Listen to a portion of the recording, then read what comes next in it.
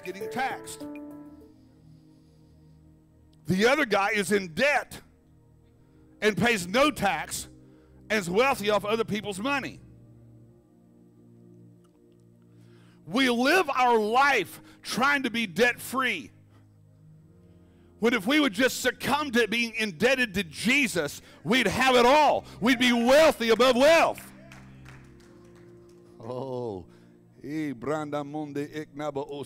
So what's happening in the church is we have a traditional teaching that says, "Hey, just do this because work hard, work long, be faithful." You know what the rich people say? I, I don't work for money. I make money work for me. Money produces more money for me.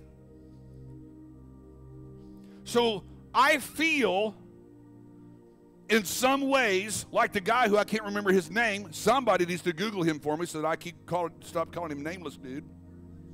Who? Irwin Shaw.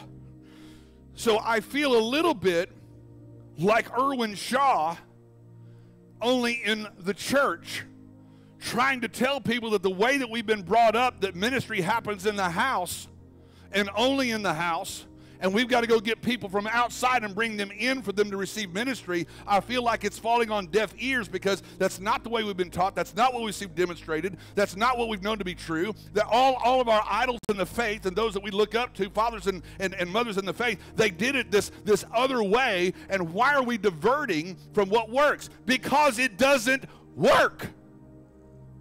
it doesn't work.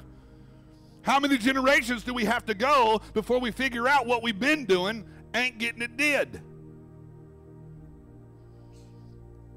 So we've got to do things a bit differently. Why do you think Jesus said, in order to have your life, you must first lose it? How does that make any sense? If you want to be the greatest in the kingdom, you got to be the servant of all. Huh? So there's a lot of things that seem odd or inverted or crazy that actually works in God's economy. What we've got to figure out is we are sojourners. We are temporarily in this realm passing through on our way to glory. So I have to learn how to deal with stuff in this realm while not missing how I'm supposed to function in the other. And sometimes they conflict.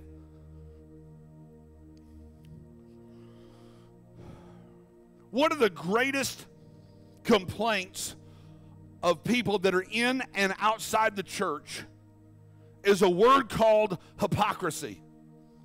How many's ever been called a hypocrite before? How many's ever called somebody else a hypocrite before? It's the most you've voted all night. So, hypocrisy is the practice of professing beliefs, feelings, or virtues that we don't really have. Oh. A practice of confessing and saying, This is what I believe, but we don't. Saying, Oh, I really have compassion for them, but you don't saying that this is a virtue in my life. This is this is something that I elevate and put on a platform that I try to I try to live by and we don't. We say what we believe others believe and we say what we believe will enamor us to them or them to us, but really what we're trying to do is just get in a relationship. You know, it's kind of like dating. You take a picture in front of a sports car. You never said it was yours, but you didn't say it wasn't. You go find the biggest house that you can find and you, and you lean up against it like you own it. And those are the pictures that you post.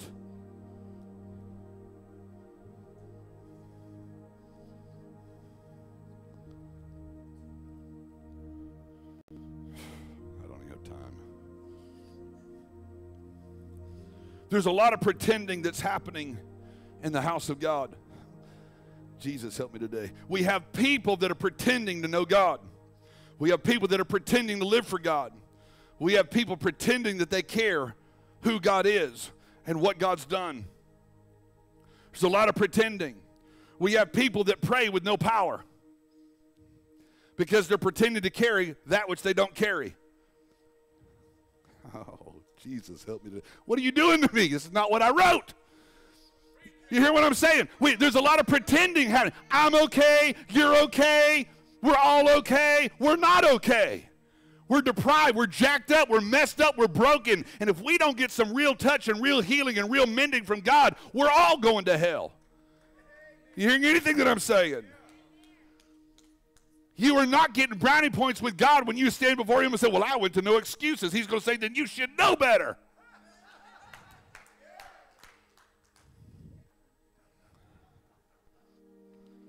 So there's an illustration. It's, it's, it's old. Many of you have probably heard it. But in the event that you haven't, it lays a foundation.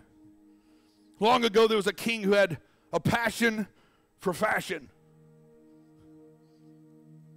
He always wanted the latest and greatest for his royal wardrobe. And so one day, a couple of brave cheaters came to his city bragging about this new material that they had discovered. They said it had magical powers, and if anyone was wise and had fine taste in clothing, the material would shine with unbelievable beauty. But to anyone who was ignorant about fashion, foolish or incompetent, the material would be completely invisible. Guys, this message is being taught in churches all over the world. If you're holy, you understand this. And if you're not, you won't. So the king was overjoyed and he, he, he could look and show off his wisdom at the same time. So he put them into work at making him a new suit. And so finally the day came. It was time for the king to put on his new suit and parade around in front of the entire city for everyone to see. And so the whole town had heard about this magic fabric and wanted to see it for themselves if they were wise enough, of course. In the king's chambers, the designers came in pretending to dress the king. They pretended to adjust his collar as if the fabric were really there. They pretended to double check their measurements and straighten out his royal cape. But deep down inside, everyone, including the king, knew there was nothing there. So, although the king was entirely uncovered, everyone pretended to admire his outfit. And so, here's the king, naked as a blue jay, frolicking around the city uh, with, with nobody daring to say a word. And as he paraded naked through the city, city center, everyone pretended to see the beautiful new suit because no one wanted to admit that they were ignorant or foolish or lacking in good taste. So while all the grown ups pretended to, the suit looked gorgeous, the birthday suit that is, one little boy turned to his mom and said, Mommy, the king isn't wearing any clothes. But everyone hushed him and pretended to believe because no one wanted to admit that they had anything lacking.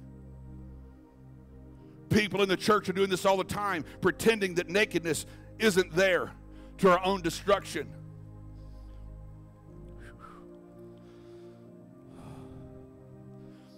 We have gotten so bad that we have pretended that people that are not okay with God are okay with God, and that actions that God hates are okay with God because God told you something that's contrary to what His Word tells the world there's a lot of pretending and hypocrisy going on in the church. And I want you to understand that my Bible says the judgment is coming to the house of God because before it comes anywhere else. So you need to understand God is showing up in his house if for no other reason than to hand out punishments. God's tired of people that want to wear the t-shirts and not live the life. He's tired of people that want to post scripture and don't even know what it means. He's tired of people that are misrepresenting who he is because they say what people think is right, but they have no understanding of what they're saying.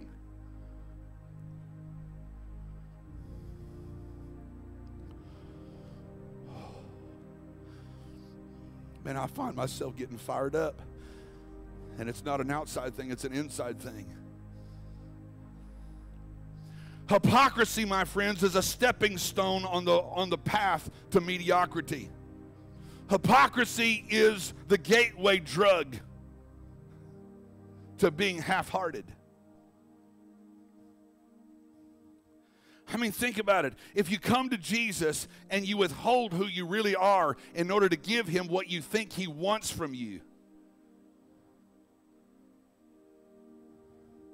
how many times have you witnessed a marriage that you knew was doomed from the beginning because they didn't even love each other. They just got caught. They got caught up in a moment. They, she got pregnant. I remember one of the first marriages that I stood up for a friend of mine, literally before we walked out to the, to the altar to meet the bride. He looked at me and he said, he said something along, it's been a lot of years now. He said something along the lines of, he said, You need to make very sure before you walk down to the altar. And I called him by name and I said, Do we need to cancel this? He said, No, no, no, no, we're fine. They didn't make it two years. He knew going into it, his heart wasn't there. Oh, we have people that are coming wanting to get married to God, hoping that the marriage to God will get them out of a jam. They're not giving themselves, and God's not stupid. If you're not giving you, He's not giving you Him. God's not saying, well, let me give you a piece of you just to, just to show you that it's legit. You bring half a heart to God, and He keeps all of Himself. It's an all or nothing scenario with God. oh. God speaks to a church in this scenario in Revelation 3. They were cited for violating the Lord by living a mediocre lifestyle. They pretended everything was good. They thought that they were successful. And by human standards, they probably were. They had a fat bank account. They, they drove up in Rolls Royces. They, they lived in palaces. They, they had fine linen that you could actually see. But the truth of the matter is, they were spiritually disabled. Did you hear that? They were spiritually disabled. And their underlying problem was mediocrity. Mediocrity, by definition, is the state of being moderate to inferior in quality. Or watch this mediocrity means ordinary. If you know anything about Jesus, you cannot belong to him and be ordinary. Jesus didn't make us to be ordinary. We're extraordinary in every facet of our creation. So the Bible calls mediocrity lukewarmness. And in Revelation 3:15 it says, "I know your deeds that you're neither hot nor cold. I wish you were either one or the other." What he's saying is, I wish you'd be passionate about something. What are you passionate about? That was overwhelming. What are you passionate about? Cars? Money? Fame? Relationships, what floats your boat? What God is saying is, I want you to either fight with me or fight against me. Pick one.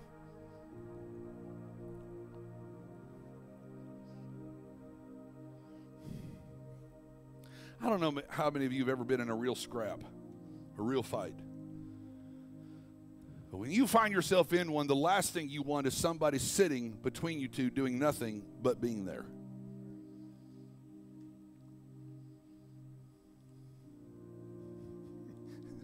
Stand up and swing at me. Give me a reason. You know what I'm saying? Do something. Come with me, come against me, but do something. And most of the people in the house of God today are inanimate. They have no passion, they have no drive, they have no commitment.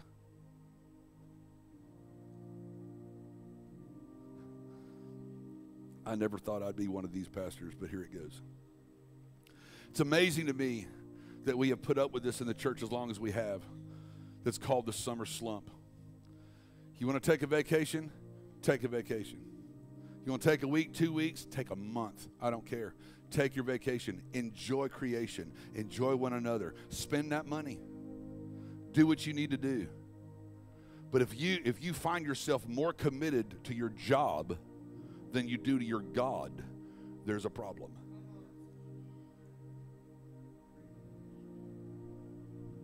Oh, so you're saying if I miss church, then I'm not committed to God. I didn't say that. He said it. He said, forsake not the assembling of yourselves together as some are doing, that you're following instead of following what I said to do. And then he said, you need to show up in the house of God more often the closer you see the day of his appearing coming. You are blinder than a bat if you don't see that we're closer than we've ever been to Jesus returning. If you're not seeing scripture played out on the news, then you're not even trying.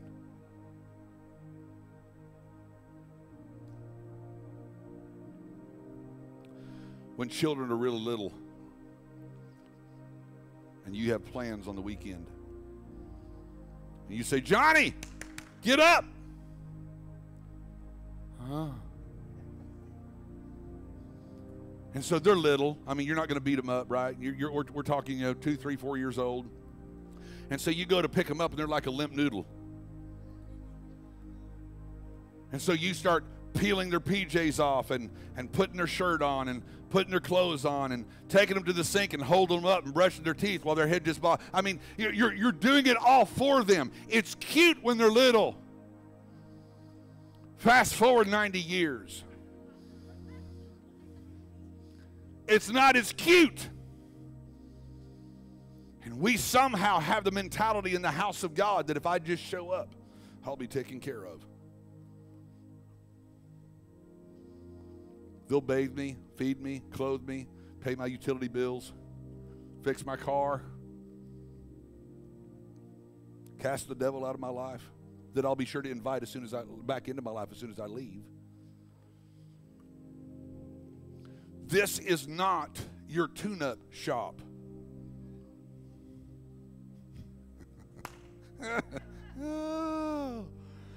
I hear a new a new T-shirt is being inspired right now, right now. Okay. So, what is he saying in, in Revelation 3.15? He says, I know your deeds. Let me talk about deeds for just a second. We have a lot of people whose heart is not right, who's doing the deeds of a right person in the eyes of others. You need to hear that people that do good things does not mean that it came from a good heart. There are people that have bad hearts that will do good deeds in order to cause you to believe that they are good at heart. It's all about deception. That's why, listen, even when it comes to dating, Rule of thumb, it better be a minimum of a year. My mom and dad used to tell me, you better see them in every situation known to man. You better see them grieving, angry, mad, road rage. You need to see them sleeping. You need to see them crying. You need to see them in every facet you can find them in. Family squabbles, you better see them in every aspect because once them I do's are done, it's dead.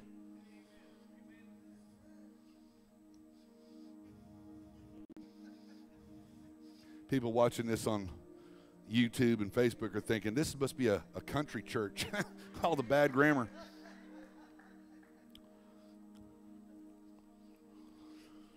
This is why this is why we cannot be quick to make alliances. the striking of the hands and the making of an agreement. You got to be careful who you're who you're making covenant with and who you're making alliances with.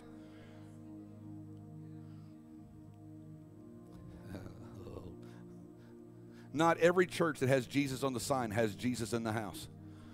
Be careful who your alliances are with. Moving on.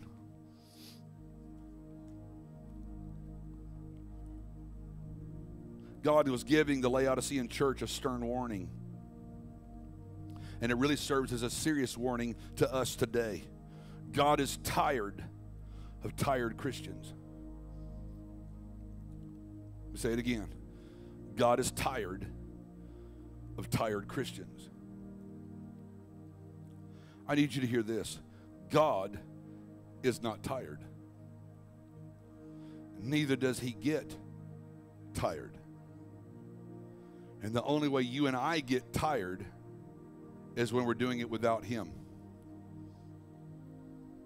He is the nuclear power plant that lives on the inside of us that empowers us to do what we can't do without him.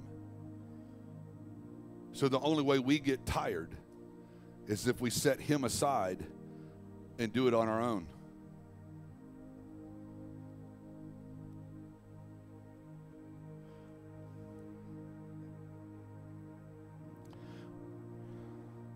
How many people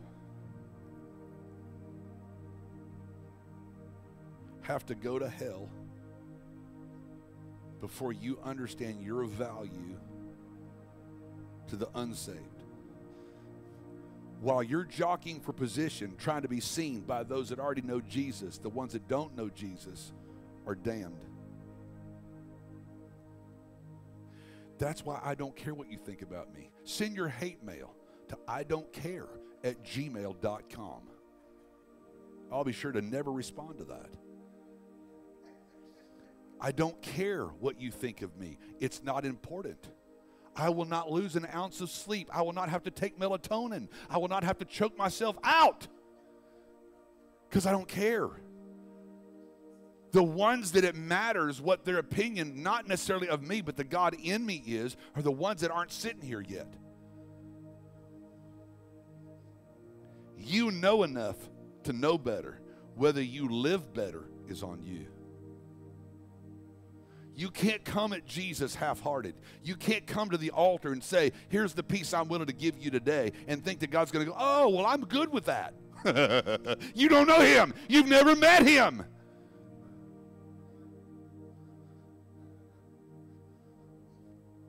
Yeah. You take your beloved up to the altar. I'll be as faithful as I can.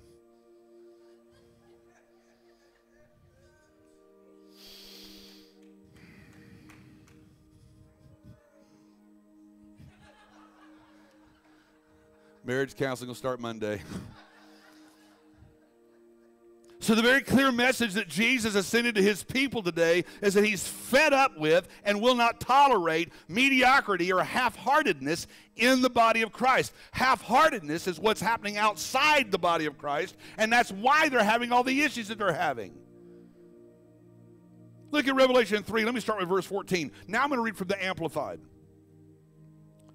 The Bible says, to the angel or the pastor, the divine messenger of the church of Laodicea, write. These are the words of the Amen. You know what that means? So be it. These are the words of the Amen, the trusted and the faithful, true witness, the beginning and origin of God's creation. I know your deeds. I know that you are neither cold, invigorating, refreshing, or hot, healing, and therapeutic. I wish that you were cold or hot. So, because you're lukewarm, which is spiritually useless and neither hot nor cold, I will vomit you out of my mouth, rejecting you with disgust. I want you to know that some translations put there, I will spit you out of my mouth. That is too kind a word.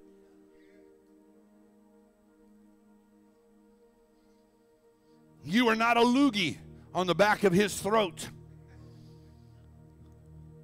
You are when you, when you are lukewarm, you make him nauseous. I have some childhood memories of me hugging a toilet bowl and heaving so hard I thought my feet were going to come through.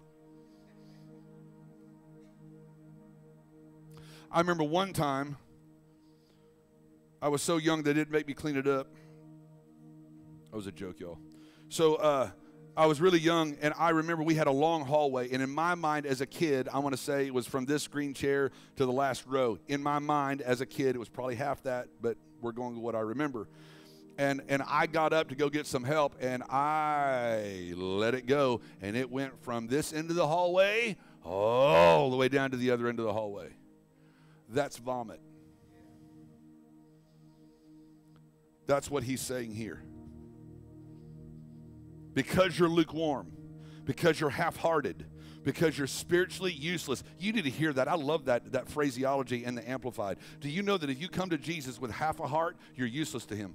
If you come to him with 95% and say, I'm giving you 95%, you are useless.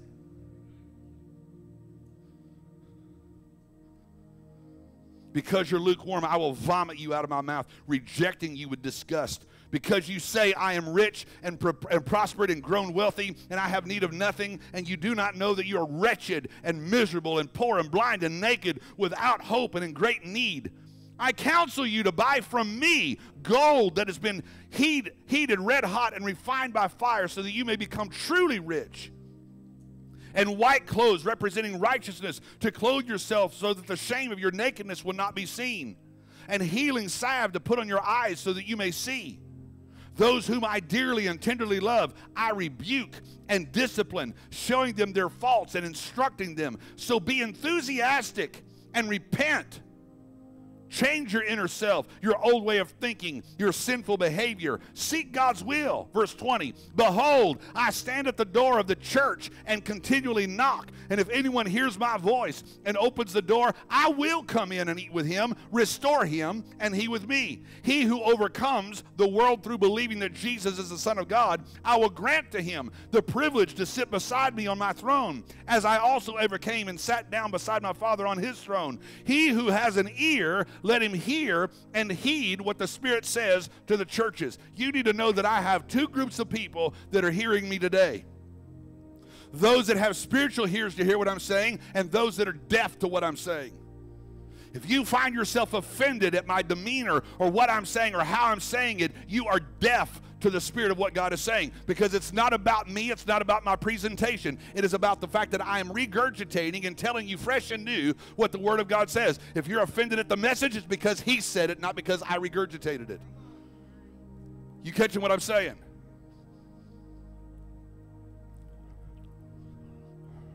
Too many pastors are trying to fill their houses so they can say they had 500 people in church. I'd rather have 50 in heaven than 5,000 in the church. You understand what I'm saying? This is not the scale that I'm getting graded by. I'm on the sliding scale, the, the scale of obedience. Until some of y'all were never graded on a, on a sliding scale. I want you to hear that half hearted effort is worthless. Tell your boss, I'll give it a go. I'll try. When you make the Whopper, I need you to make sure that the meat never hits the floor. I'll give it a shot. When a customer makes you angry, I do not need you putting things in the frying pit that don't belong there. Maybe.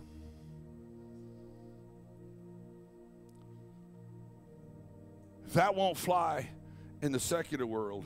It will not fly in the supernatural. Half hearted effort is worthless. People refuse to pay for half hearted labor. This is so minor, so minor. But I took my son to work with me the other day. And uh, he got on top of a ladder and was shifting a ceiling tile, and I'd got it pinched pretty good, and so he got it unpinched and got the insulation back on top of it, set it right back in the ceiling grid where it was supposed to go, and got it done. And it was two little bitty pieces of insulation that had made it between and was sticking out between the tile and the grid. I said, "Son, that won't fly." He said, "What are you talking about?" I said, "See those two little pieces right there?" He said, "I didn't even see it." I said, "You didn't, but the customer will." and our, our job that we're doing will be graded by what they can see. That's why we live the way that we do. That's why we live the way that we do. We don't, we don't leave insulation hanging out.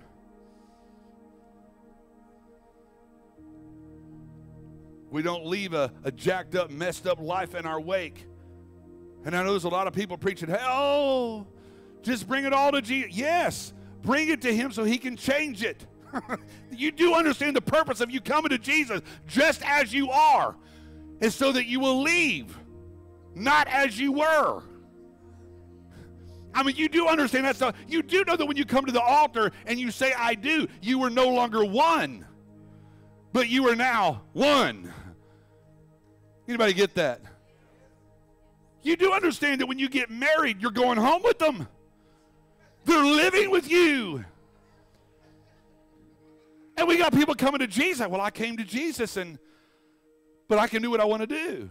No, no. Now you can do what he wants you to do. some of you some of you are eating the cornflakes again for the very first time because I see you considering going, is this really what I signed on for? It really is. The rules didn't change because the secular ideology got inside your head. Your relationship with Jesus doesn't get to morph because the world tells you that he's too strict. I want to sleep so well tonight. Some of you ain't.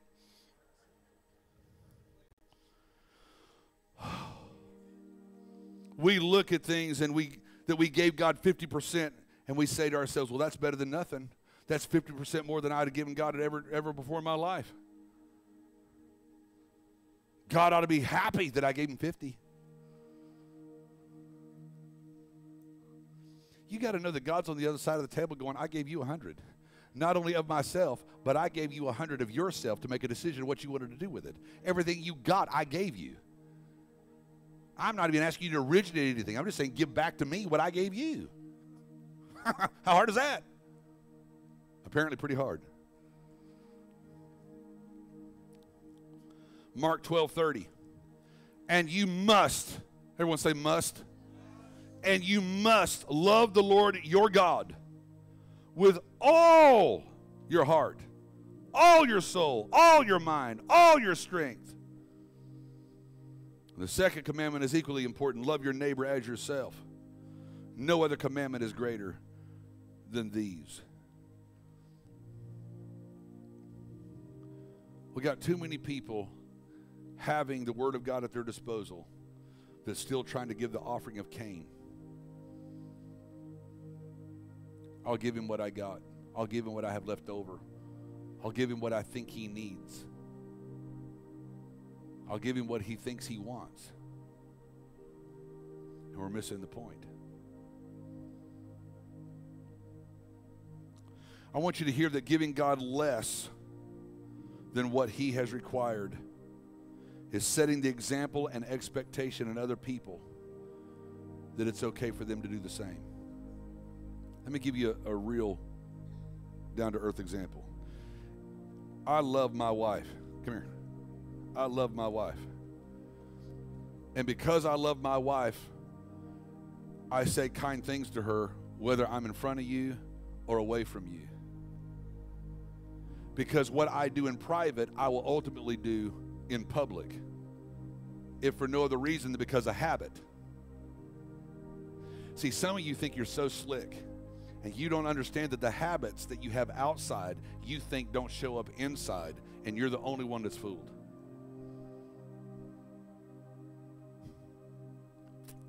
so if i disrespect her in front of you what i'm basically doing is saying she holds no value to me therefore she should hold no value to you so by me showing disrespect to Rachel, I'm giving you the authority to do disrespect to Rachel as well. But the inverse is true.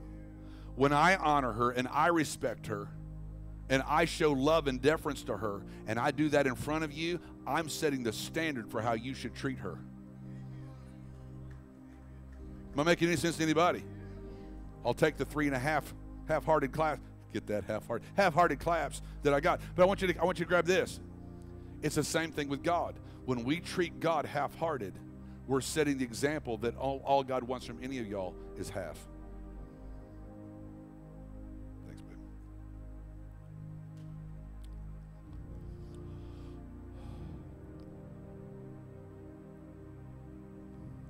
Churches without a passion to serve are in imminent danger. Again, churches without a passion to serve are in imminent danger. You want to know why?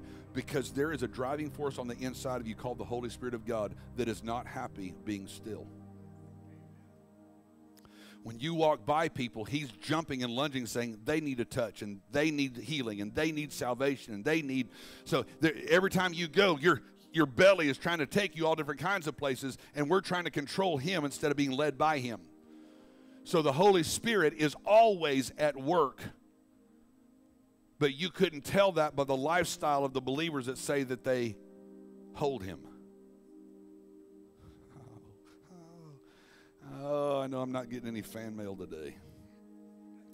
So, it's important that we succumb to the passion of God on the inside of us so that we find ourselves working in conjunction with Him instead of working against Him. So, listen to an illustration about imminent danger. How many has ever heard of Chernobyl? How many has never heard of Chernobyl? How many didn't vote?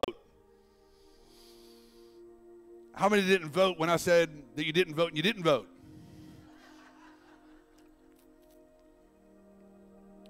So in Chernobyl, workers had put had to put on lead suits and scoop debris into a large hole over an exploded nuclear core.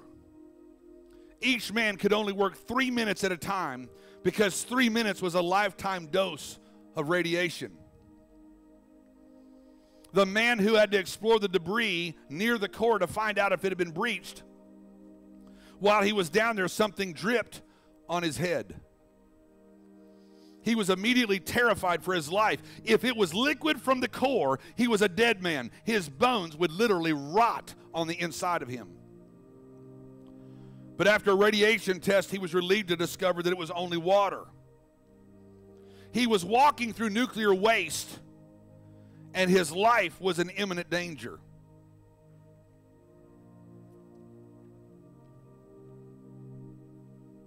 Being a lukewarm Christian is like walking around Chernobyl hoping you don't run into radioactive waste.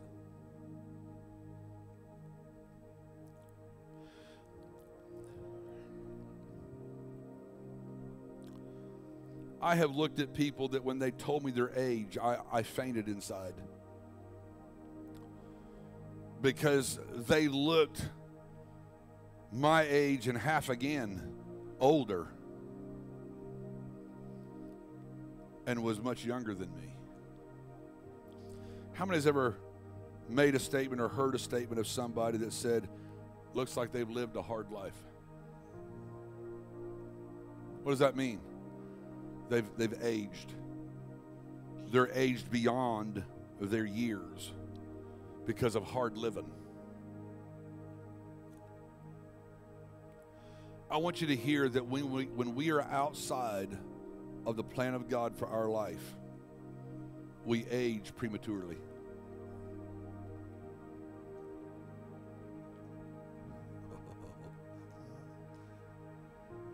God gives, a, uh, gives us a prescription for long life. Love the Lord your God with all your heart, mind, soul, and strength. And honor your father and, and your mother that your days may be long upon the earth.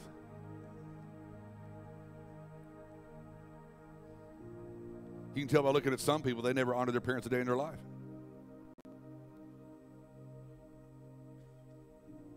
When we are functioning outside of what God has designed for us to function in, we begin to lose time.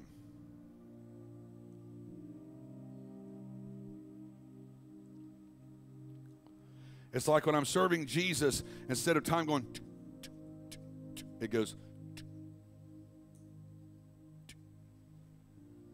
so I can get more done in the same amount of time as somebody who, in their own power outside of God, his time is going.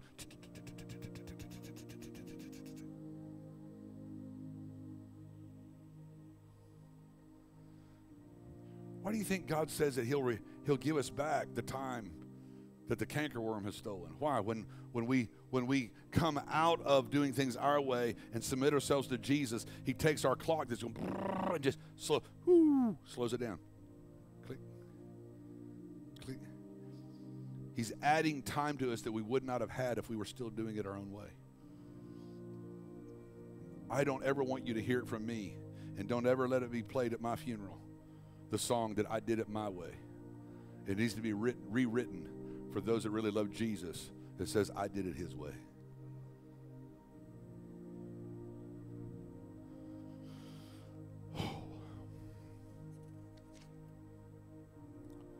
The truth is, people don't know their own true, real condition. We think we do, but we don't. How many of you ever gotten dressed and you think the outfit looks really good, but you want to be really sure. Babe, how's this look? Wear this one. you know? Come on. And so you think, you know, she might have been doing her makeup and, and, and, a light bulb had burned out or something. So she's doing it in the dark and it just, she came away looking like a harlot for all I know. She goes back, hey, how does this look? Mm. Take a tissue and, you see what I'm saying? We, we don't always know. That's why we need people that we know love us to tell us the truth. Don't ask somebody that's trying to get something from you what your real condition is. That's why we got to go to Jesus.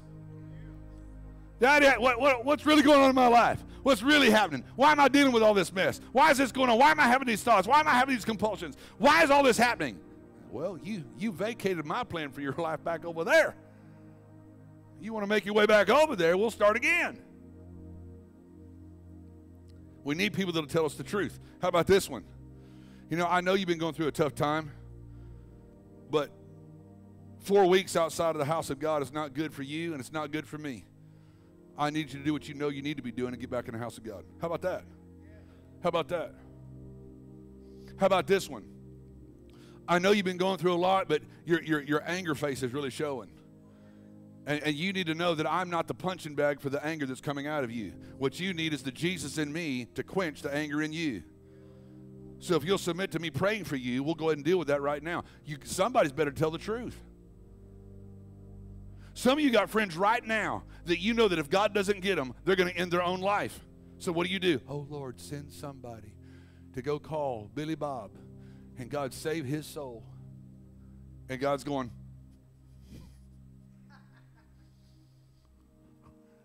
It's like that one kid. He's made himself millions, I'm sure, on YouTube by doing what other people make a big deal about. And he does. He d- does it real simply. Just goes. That's gonna be my. That's gonna be another T-shirt. God, where are you? anyway. Somebody hand out Benadryl at the door when you guys walked in. I'm just checking. People don't know the true condition. Revelation 3:17 said, "You said, I'm rich. I've acquired wealth. I don't need a thing. But you don't realize that you're wretched, pitiful, poor, blind, and naked. You're saying everything's fine. Me and God are okay. And the Holy Spirit of God is stand up on the inside of you saying, they're lying. We are so consumed by our own lies that we can't even we can't even recognize the truth when it's told to us. That's why you can't get isolated. You can't get isolated because you are always right in your own eyes. Even when you're dead wrong, you're right in your own eyes.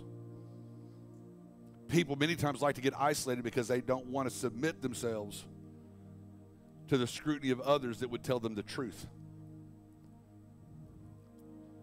And watch this you don't have your own truth. I'm all over the map today. There, there, you, there's not flavors of truth. There's truth and there's not truth.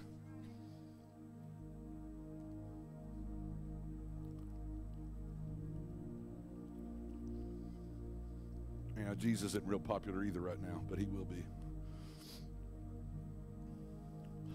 It's been on rare occasion that I've looked across the audience and no excuses and seen people like this. And I'm seeing more of that tonight. Now, everybody's putting their arms down real quick. I want to start throwing some of that. Have you ever had a friend that had a booger hanging from their nose?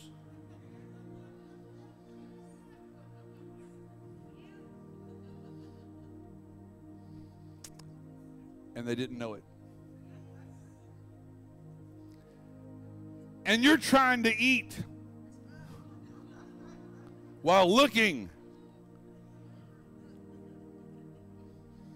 And so at some point you say, listen,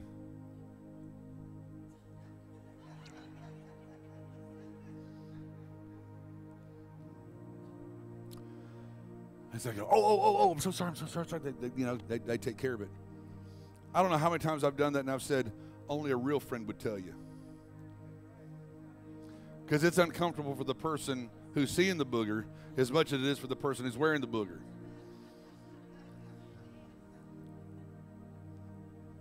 So, what I'm trying to tell you is when somebody comes to you and says, Listen, I'm seeing this in your life, please understand it's, a, it's an imposition and a hardship for them just like it is for you to hear it.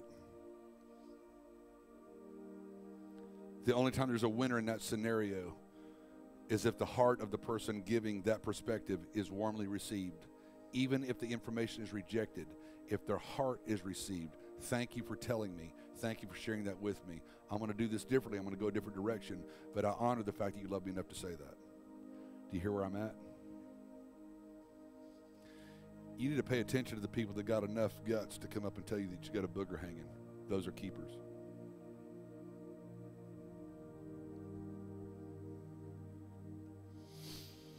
T shirt. If your friend tells you you have a booger hanging, keep them. They're a keeper.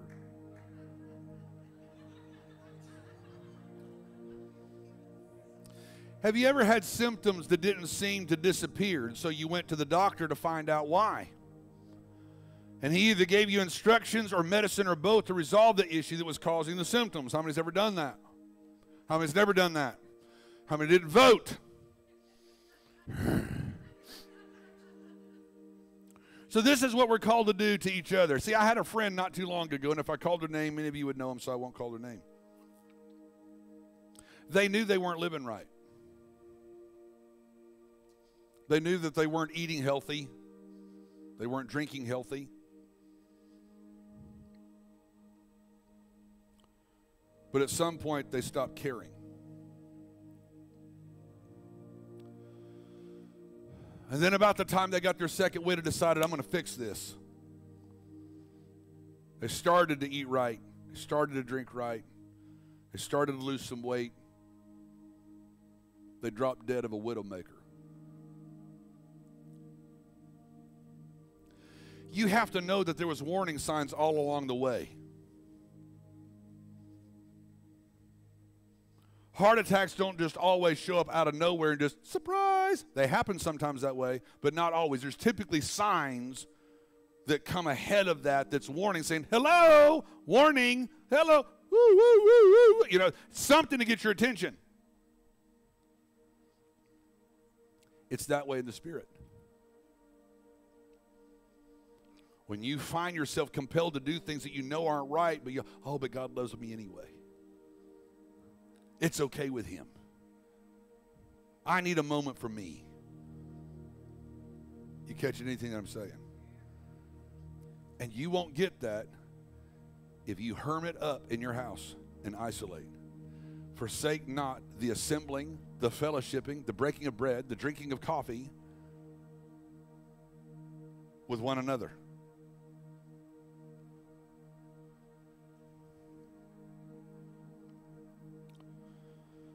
Can't camp there. I want to, but I can't.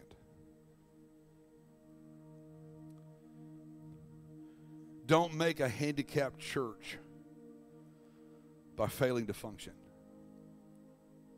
Don't make a handicapped church by failing to function. Don't refuse to work because the conditions aren't perfect, because they're never going to be perfect.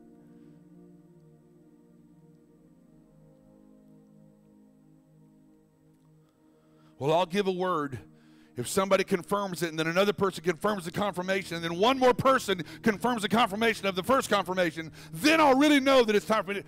The, the, the conditions are not going to be perfect. They're not going to meet your criteria. You're really going to have to take some risk. You really have to step out of the boat into that water and pray that you walk. We all have to do it. You want to know why a lot of people aren't functioning the ministry that they're called to do? Because they, unlike Peter, refused to step out of the boat to test what they believe is God. So they'd rather live in the columns or the, the rooms of their own mind and say, Yeah, God's dealing with, yeah, that, that's really God. And yeah, I, I really know better than what they're saying, but I'm not going to say anything. They're not saying anything because they don't know better because it wasn't God. You got to learn to hear from Him for yourself. I can ride a bicycle, but I can't ride a bicycle for you until you get on two wheels and you fall over a couple of times and you skin a knee and you realize it's a lot better for me to stay upright than it is for me to go horizontal. And you learn how to do it, then you can ride a bike. But for those of us that can ride a bike, we all can ride because we learned to ride. And all those that hear from God are hearing from God because they learned to hear from God. And those that are flowing in the gifts are flowing in the gifts because they've learned to flow in the gifts, which means that they had to make mistakes and they had to get it wrong and they learned how to get it right. They learned to tell the difference. We all have a journey. Don't despise somebody else's journey.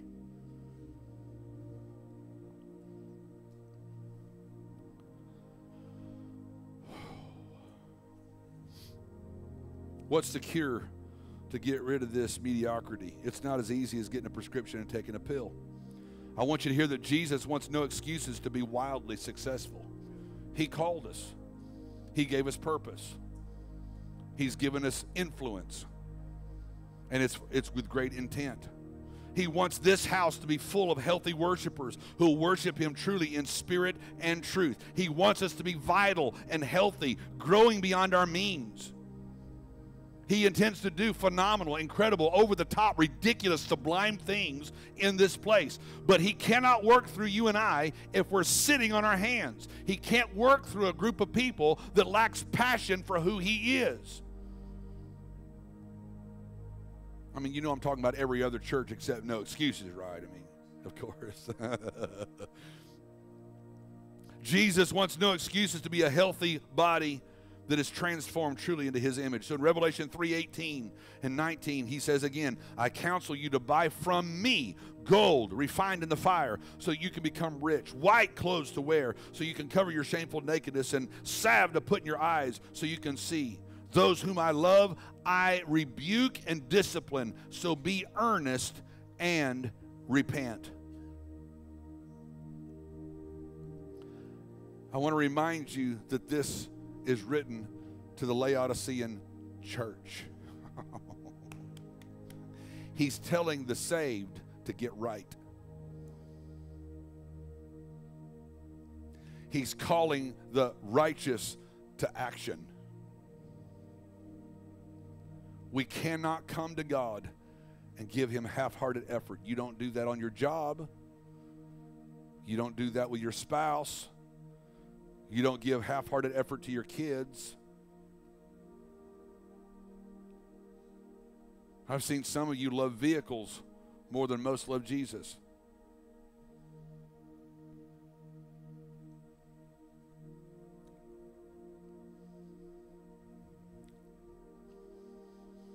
say, this is kind of heavy. It's only heavy because it's not been widely taught for a long time. So what's happened is over time, we toed the line and then we started listening to the world a little bit more, a little bit more, and then we felt comfortable in doing what we were doing, and so we got farther and farther and farther away. And now somebody comes back and gives the original truth, and it's so far removed from where we're at that it feels like we're just getting hammered. The gospel didn't change, we did. God didn't move, we did.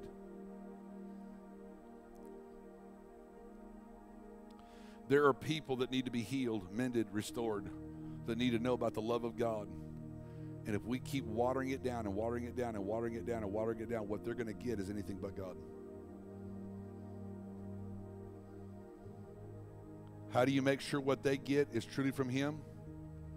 Keep it pure here. Quit watering it down in your own heart.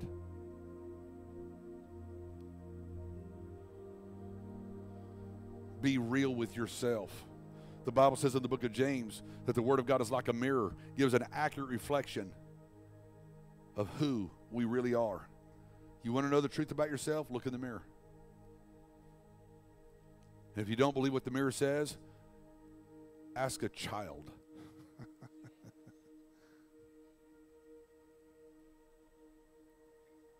you know another term or another word for politically correct? Lie.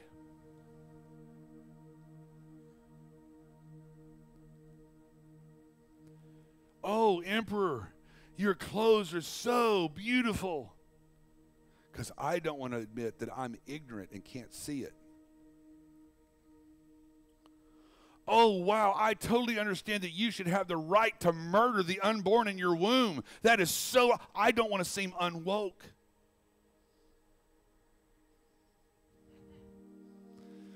That crept into the church.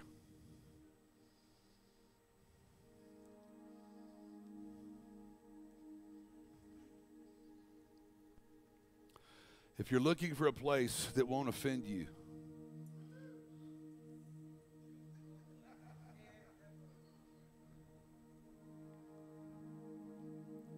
I truly have one to please.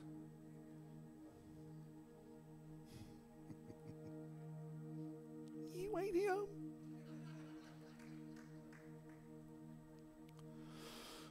I really am working to hear Jesus say, well done. And for those of you who happen to be behind me in line, I'll be going, see y'all there. That's my goal. I'm working to that end. Not to have you go, oh, what a great mess. I just so love your your the, the way you present. Don't care. People are dying. They don't know God. And what many who say they know God are carrying ceased to be God a long time ago. We need to get back to having Him full strength because He's not giving us half a cross or half His heart. So we can't bring anything less to Him. We need to bring Him our whole heart and carry our own cross. Am I making sense? Lord, I bless your people today. I celebrate the fact that you are the same God today that you were when you built man. I thank you, Lord, that seasons change, bodies change, relationships change, but you're the constant. You're the constant. I celebrate your love for me. Celebrate your goodness and kindness towards me. And I thank you, Lord, that you won't be towards me what you won't be and aren't towards others. I'm asking you today, Lord, to draw us closer to you. I'm asking you today, by your Holy Spirit, to jerk all the slack out of our rope, out of our chain, out of our theology. Forgive us for being wooed by the world system. Forgive us for being intimidated by those that can shout the loudest and scream the worst obscenities. Forgive us for being more concerned about backlash than honoring the King of Kings and the Lord of Lords. I'm asking you today, God, to give us a transplant today, a heart transplant so that our heart beats as yours beats. And I'm asking you today, Lord, to give us a spine that we truly can stand against all of the attacks of the enemy because we have your spine in our back. Make us the resilient, dedicated people of God that you called us to be. And may we so represent you to others that others don't run from it, but run to you because they see you as you are, because we stopped misappropriating and misrepresenting who you truly are. Your standard is the highest. Your quality is the greatest. And your destiny for us is unsurpassed. So challenge us, grow us, stretch us, and make us the people of God that you called us to be. In Jesus' precious name. And all God's people said. For those of you that made it to the end of the video, I congratulate you. Thank you so very much for joining with us. We'd love to see you here in the building with us. There's some things that happened before and after the video comes on and off that we'd love you to be a part of. 2632 Southwest 39th in Oklahoma City. We meet at 2 o'clock in the afternoons on Sundays, 6.45 p.m. on Thursday evenings. So until this coming Sunday, God bless you and have an incredible, incredible evening.